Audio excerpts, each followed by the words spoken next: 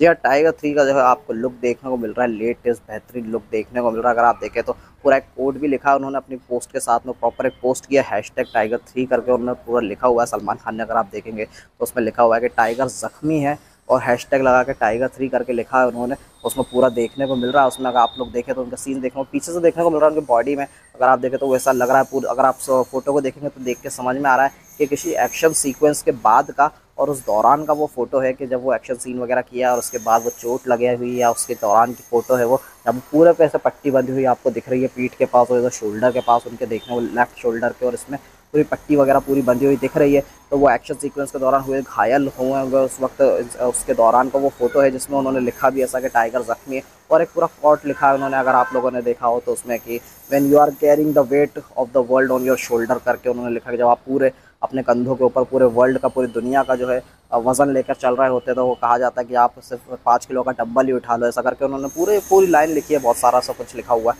वो देखने में इंटरेस्टिंग लगा। लुक की जहाँ तक बात की जाए तो फेस देखने को नहीं मिल रहा है। पीछे से ही देखने को मिल रहा है, लेकिन अच्छी बात यह है कि बिहाइंड द सीन के थ्रू ही सही, लेकिन कोई लुक हमको देखने को मिला जो कि अच्छा लग रहा है इंटरेस्टिंग लग रहा है और मज़ा आएगा। मुझे लगता है, देखिए, अब टाइगर थ्री का वक्त तो आ ही रहा है, जो है दिवाली पर फ़िल्म आने वाली है।